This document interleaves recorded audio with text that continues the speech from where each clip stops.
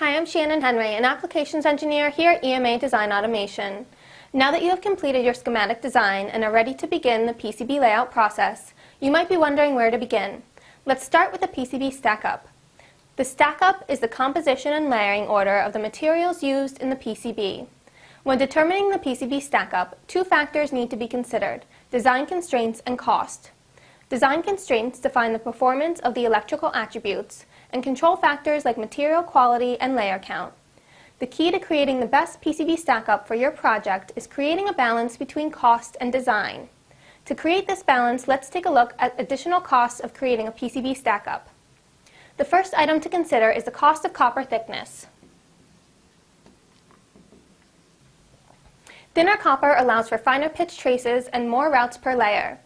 Thicker copper allows for higher current carrying capacity at reduced trace widths. Half ounce and one ounce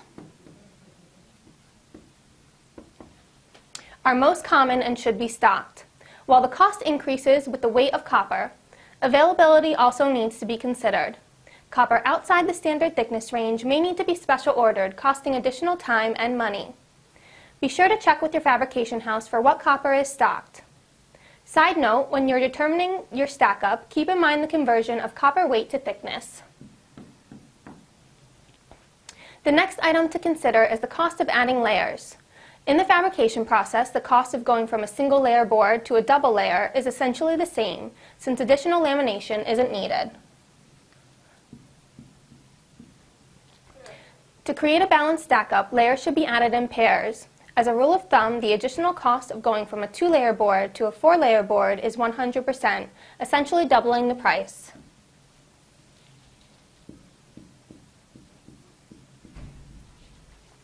The additional cost of going from a four-layer board to a six-layer board is 50%.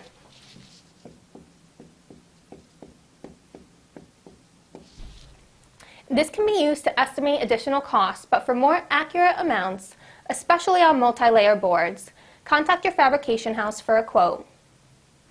In order to keep the layer count low, shrinking traces may be considered for your design. To keep costs low, leave as much space as possible between densely routed traces for the supplier's print and etch process. If the trace widths and spacing fall below the supplier's general capabilities, the supplier may need to impose a 10% or more cost adder to account for any scrapped PCBs during the manufacturing process. Contact your fabrication house for trace width and spacing capabilities and associated costs. The next cost to consider is the material used within your stack-up. The most common material used is a glass epoxy known as FR4. And the typical thickness is 0.062 inches.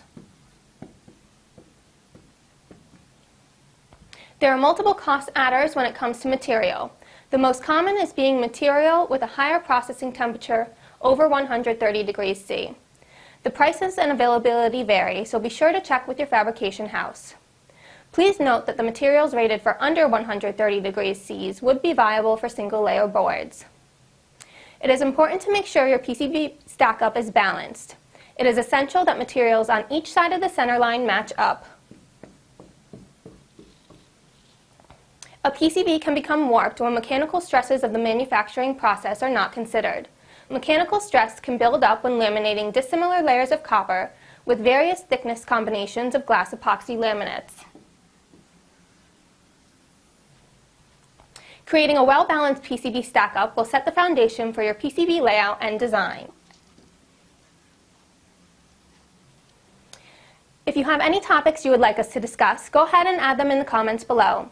In the meantime, be on the lookout for more Whiteboard Wednesday sessions from the PCB design experts here at EMA Design Automation.